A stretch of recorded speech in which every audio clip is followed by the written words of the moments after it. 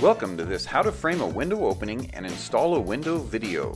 Here you will learn the steps to framing a window wall opening, installing siding, and installing and trimming a window on your storage shed.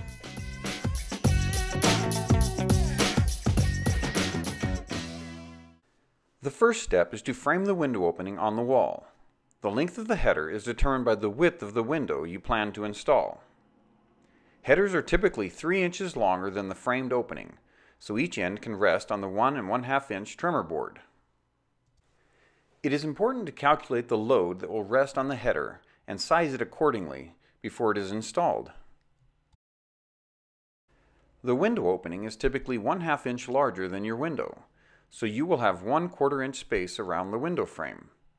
You should verify the framing and installation instructions with your window manufacturer. The depth of the header is determined by the amount of load it needs to carry and how long it is.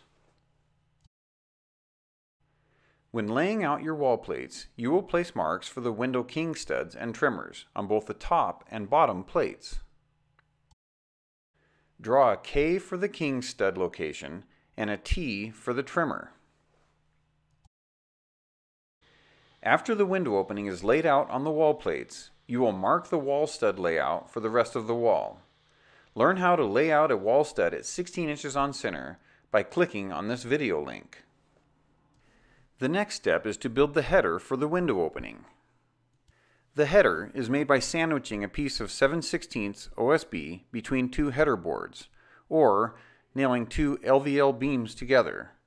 This video will show you assembling the header from 2x4 boards with a piece of OSB between them. Start by cutting the two header boards 3 inches longer than your rough opening size. Then, cut a piece of OSB or plywood to sandwich between the two header boards. It should be a bit smaller than the header boards, so it does not stick out around the edges. Crown the two header boards and then set the piece of OSB between them. Align the edges of the header boards flush with each other and then nail them to each other using 12D nails.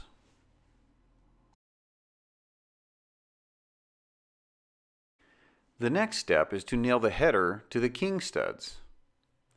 When a window opening is added to a wall, the header and king stud assembly is typically built first so that you can work on the sides of the window opening assembly without hitting any adjacent wall studs.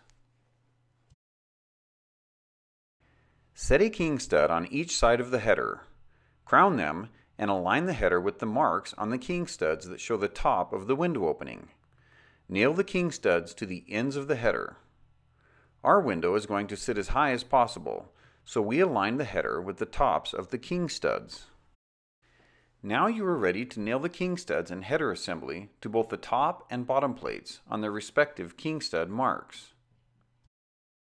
After the wall plates are nailed to the king studs, you will install the trimmer boards below the header.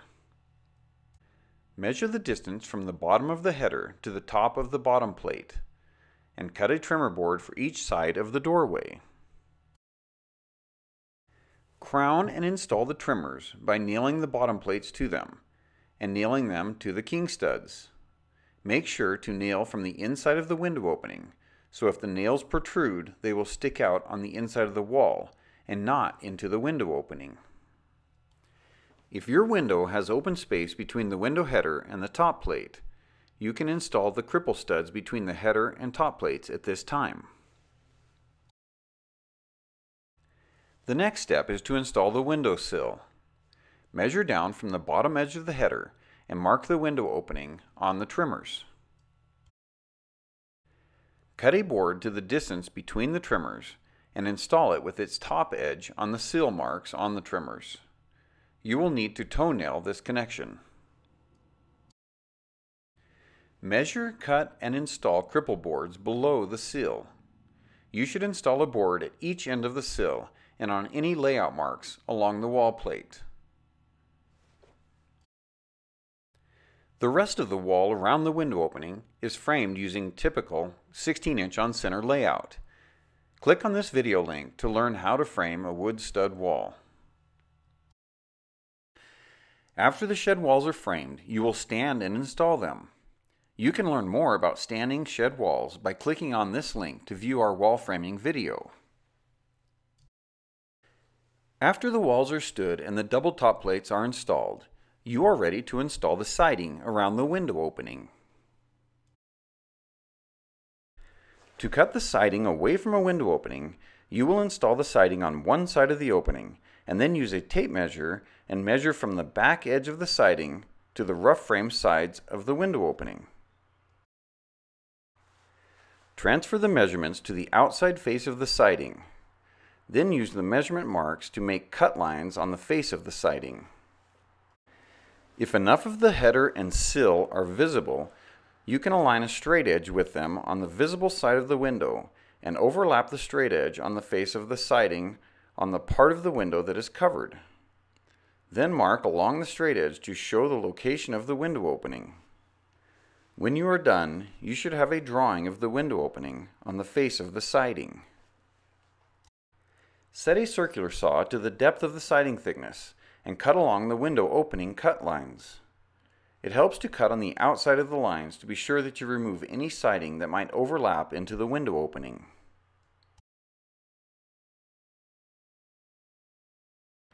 After the siding is cut away from the window opening, you will install nails around the opening.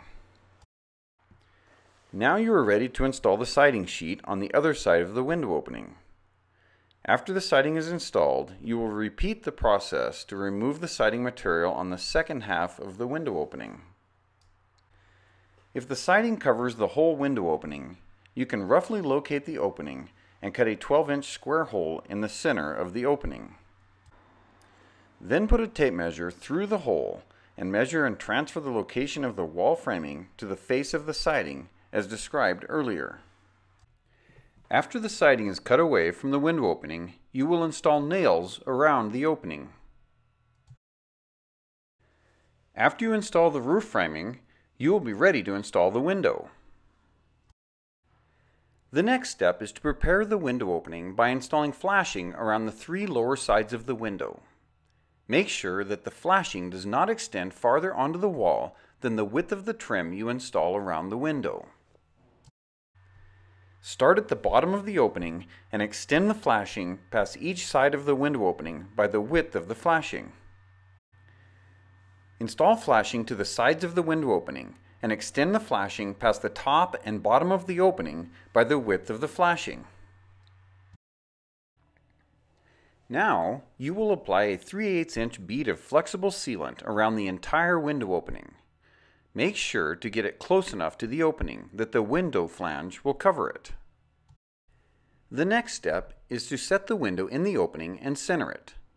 Make sure that the weep holes on the window are down and to the outside of the shed. Press the window into the sealant to get a good continuous seal between the window and the shed wall. Center the window in the opening by sliding it to one side and marking the wall at the flange edge on the side you pushed it to. Then slide the window to the other side and make another mark on the side you pushed it to. Now, center the window between the two marks. The next step is to install one fastener through one of the holes in the nailing fin on the top right side of the frame, about 3 to 4 inches below the top corner. Make sure the fasteners are long enough to go 1 inch into the wall stud behind the siding or sheeting.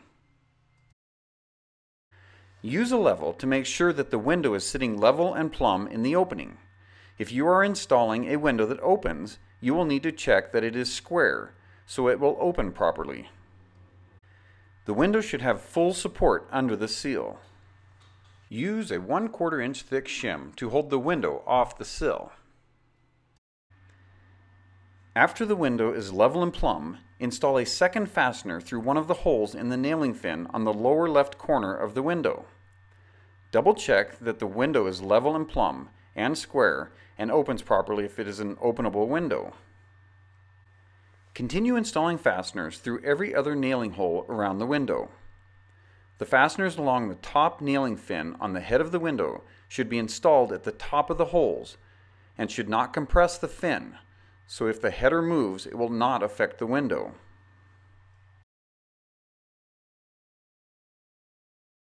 The next step is to install the flashing across the head of the window. Overlap the nailing fin and extend it out the sides to the width of the flashing.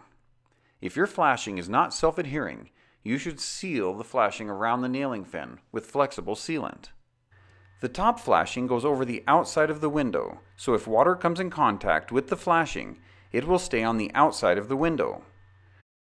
Trim the top flashing so it does not stick out beyond the side flashing, and wood window trim. Now you are ready to install trim around the window. Start at the bottom of the window and install the sill first.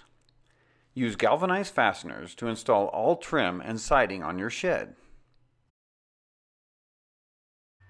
Install the side pieces of trim second and the top head piece of trim last. Make sure to leave about 1 8th of an inch between the trim and the window to allow for expansion between the window and trim materials.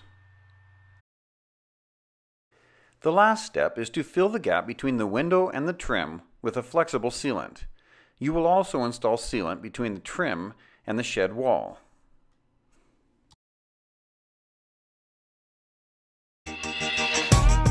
Continue learning about shed building by clicking on one of these videos. Thanks for watching.